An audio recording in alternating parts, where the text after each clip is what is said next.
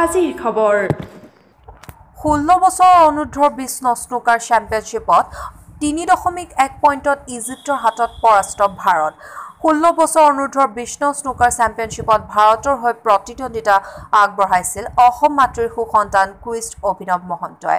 বিশ্ব snooker চেম্পিয়নশ্বিপত প্ৰতিদ্বন্দ্বিতা আগবঢ়োৱা অভিনৱ মহন্ত অসম তথা উত্তৰ পূৰ্বাঞ্চলৰ প্ৰথমগৰাকী কুইষ্ট। ভাৰতৰ হৈ বিষ্ণ স্নুকাৰ চেম্পিয়নশ্বিপত প্ৰতিদ্বন্দ্বিতা আগবঢ়োৱা পোন্ধৰ বছৰীয়া অভিনৱ মহন্ত গুৱাহাটী মহানগৰীৰ ভাঙাগড় নিবাসী ডক্টৰ অশ্বিন কুমাৰ মহন্ত আৰু ববিতা মহন্তৰ একমাত্ৰ সন্তান দশম শ্ৰেণীৰ ছাত্ৰ অভিনৱ হিন্দুস্তান কেন্দ্ৰীয় বিদ্যালয় ভাঙাগড়ৰ ছাত্ৰ।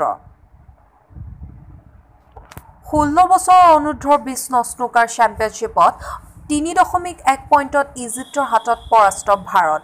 ষোল্ল বছৰ অনুৰ্ধৰ বিষ্ণ স্নুকাৰ চেম্পিয়নশ্বিপত ভাৰতৰ হৈ প্ৰতিদ্বন্দ্বিতা আগবঢ়াইছিল অসম মাতৃৰ সুসন্তান কুইষ্ট অভিনৱ মহন্তই।